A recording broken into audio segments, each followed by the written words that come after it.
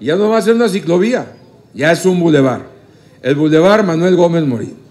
Un bulevar seguro, amplio, con ciclovía.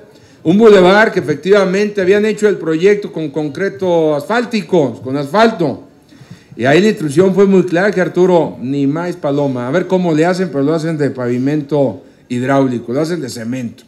No queremos a los dos, tres años andarle bacheando de nuevo. De una vez que quede como Dios manda para muchos años.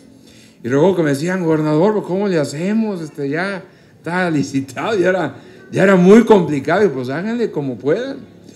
Y aquí yo sí tengo que reconocer el ajuste del proyecto, las facilidades que nos dio también la empresa, porque ya estaba fallada, y bien pudo haber dicho, yo licitaron así, yo gané así, la verdad hubo la consideración, y bueno, pues literalmente se dio la oportunidad que con el mismo recurso se haya podido hacer esta obra tan importante. Una obra muy digna, de veras.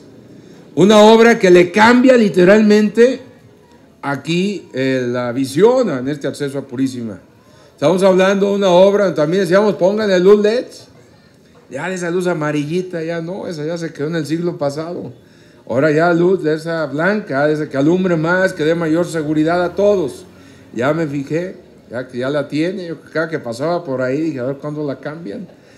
Este, no, pues felicidades, de veras. Pues sí, ando observando las obras cuando ando aquí, cuando ando aquí en mi pueblo. Y bueno, me da mucho gusto, la verdad. Felicidades porque es una obra que les cambia la vida. Es una obra que viene a complementar, fíjense, aquí todo este bulevar va a ser una zona de servicios muy importante. Aquí adelante, a un lado del rastro, está también ya el Centro de Justicia, que va a ser una obra muy grande.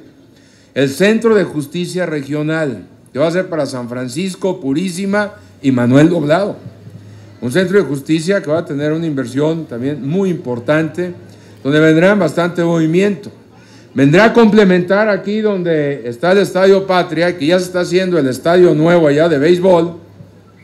Aquí van a tener también lo que va a ser la atención en materia de seguridad pública.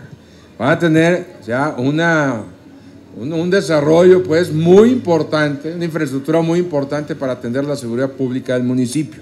Y lo van a tener aquí. ¿Qué va a permitir? Excelente movilidad desplazamiento para las diferentes colonias. Allá en Apípila, pues ya, ya, sinceramente es suficiente.